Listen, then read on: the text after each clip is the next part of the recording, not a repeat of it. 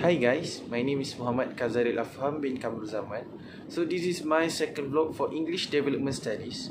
I want to share with you guys about my journey for my group which is to spread awareness to people out there about smartphone awareness. Okay.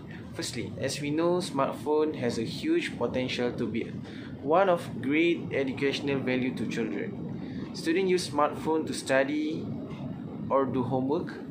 Since the pandemic COVID-19 in 2019, we can realize that smartphone is one of the most important thing for students. Even now, school and universities make a textbook and notes to make students study even better.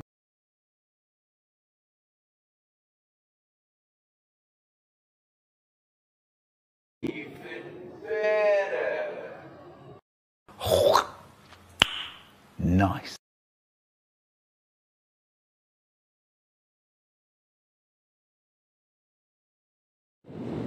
But leaving alone the children with smartphone is also not good because they don't have a limitation of using smartphone. They also can search the bad website and make them addicted with that bad activities on website or other platform maybe. Also they will use smartphone for playing games and not involved in any healthy activities such as sports. But now we have uh, e-sport which is good for them too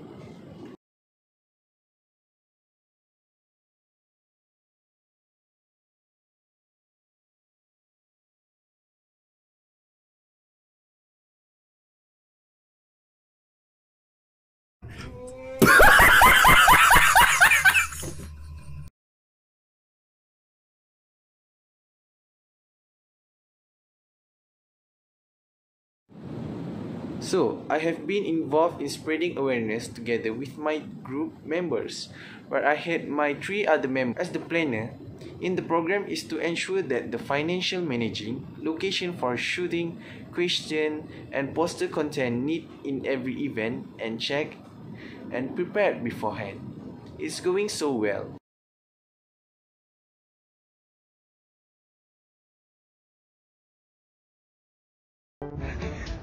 British people be like, Harry Potter! as a leader it's really tough but at the end we end this project together and happy to have their well cooperative behave lastly thanks to my lecturer professor Madhya TS Dr Mahadi bin Abdul Jamil cause for sharing your wisdom with us and also your guidance and support and also to all of my teammates and classmates for having a really good moments together.